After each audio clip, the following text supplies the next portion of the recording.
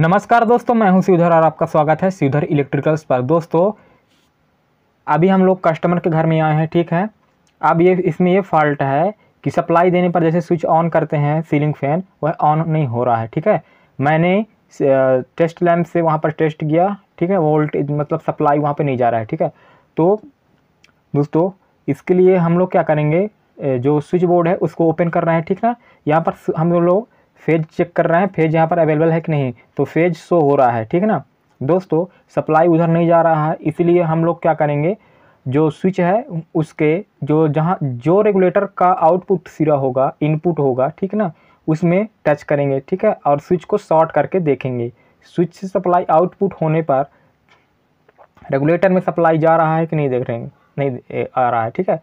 तो वहाँ पर तो जा रहा था इसलिए मैंने अब जो क्या करना है आगे कि जो रेगुलेटर का आउटपुट वायर है, उसको जो सीलिंग फ़ैन का जो हाफ़ वायर है मतलब जो रेगुलेटर का आउटपुट और सीलिंग फ़ैन का हाफ़ वायर बोलते हैं उसको तो उसको क्या करना है, हमको निकाल लेना है, ठीक है? और दोस्तों, जैसे हम लोग क्या करते हैं, उसको डायरेक्ट करते हैं, ठीक है? तो फिर वहाँ पर क्या हो जाएगा कि सीलिंग फ़ैन ऑन हो रहा है मतलब रेगुलेटर से फॉल्ट है, ठीक है? तो रेगुलेटर का फॉल्ट तो समझ में आ गया, ठीक है? उसको रेगुलेटर को कनेक्शन जिसको रिमूव करना है और जो पंखे का वायर है, उसको डायरेक्ट फ़ेज़ वायर में कनेक्ट करना है, ठीक है?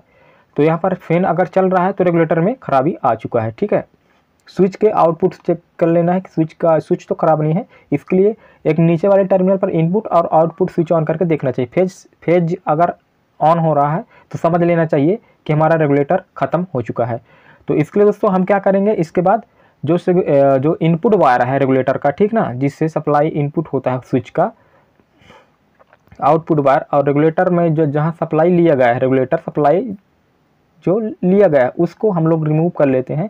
उसके जगह पर दोस्तों, अभी रेगुलेटर अवेलेबल नहीं है करंटली और फ़ैन ऑन करना क्योंकि गर्मी बहुत ज़्यादा है। इसलिए जो सीलिंग फ़ैन का वायर आया है, उसको हम लोग कर लेते हैं कटिंग करके ट्विस्ट ठीक है अब इसको करना है दोस्तों, हम लोग क्या करेंगे? जो सीलिंग फ़ैन का वायर है, उसमें से क्या करना है हमको? जो स्विच ऑन हो रहा था जी, है ना, फ़ैन का, उसको डायरेक्ट कर रहे हैं ताकि अभी करंटली में स्विच सीलिंग फ़ैन ऑन हो सके। इसके लिए हम लोग क्या करें हैं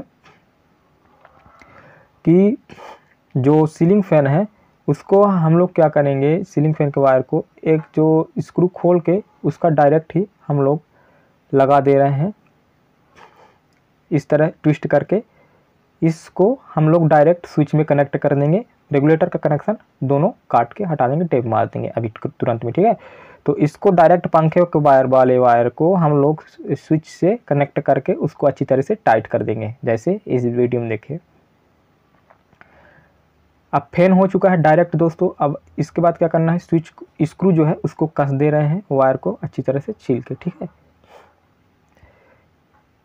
तो इससे पता चल गया दोस्तों कि जो हमारा जब रेगुलेटर ख़राब होता है तो वहाँ पर आउटपुट नहीं होगा तो पहले बोर्ड ना खोल के वहीं पर चेक कर लीजिए, ठीक है? पोलरिटी भी टेस्ट कर लेना, न्यूट्रल फ़ेज़। हो सकता है मान चलो न्यूट्रल कंट्रोल हो, फ़ेज़ आ रहा हो, ये फ़ेज़ कंट्रोल हो है ना? तो पोलरिटी टेस्ट भी करना ज़रूरी है।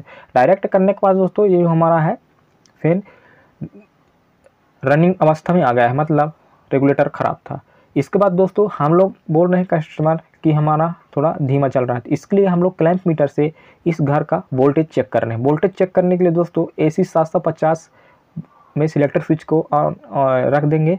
और जो जो टर्मिनल है, दोस्तों मेरा चूहे ने काट दिया तो इसलिए थोड़ा भी दिक्कत है। तो इस तरह मैं प्रोप्स यूज़ कर रहा हूँ सॉरी लेकिन है ये रिस्की तो हम लोग क्या करेंगे, जो सॉकेट में हम लोग इसका जो टर्मिनल है, इसको कनेक्ट करेंगे। तो दोस्तों, यह आ रहा है, थोड़ा अभी हिल डुल रहा था, एक सौ अड़सठ वोल्टेज ठीक है?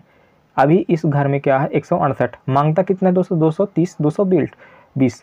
तो अभी हमारे इस घर में तुरंत अभी पचास, लगभग पचास वोल्टेज के लगभग जो वोल्टेज है, वह कम है। तो इसलिए पंखा थोड़ा धीमा घूम रहा है। दोस्तों, ये हमारा स्विच है, ठीक है? यहाँ से ऑन करेंगे, या स्विच ऑन करेंगे तो पूरा डायरेक्ट हमारा जैसे अभी हम लोग क्या करेंगे? चालू करेंगे। तो ये तेज़ घूम रहा है। मिलते हैं दोस्तों एक नई वीडियो में। तब तक के लिए धन्यवाद। Take care